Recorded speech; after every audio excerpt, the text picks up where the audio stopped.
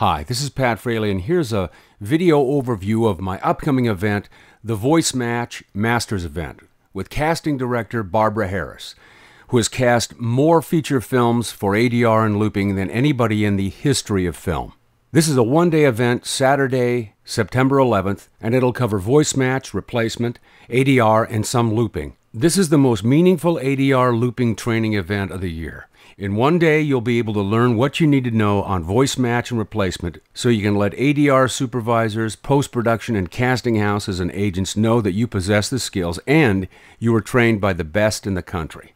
ADR and looping doesn't just happen in Los Angeles and New York.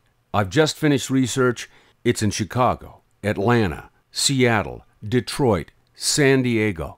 Yes, in secondary markets, it's unlikely that you'll be doing ADR on feature length films. More likely, small independent films, industrials, and corporate films. Much of this work does not go through agents.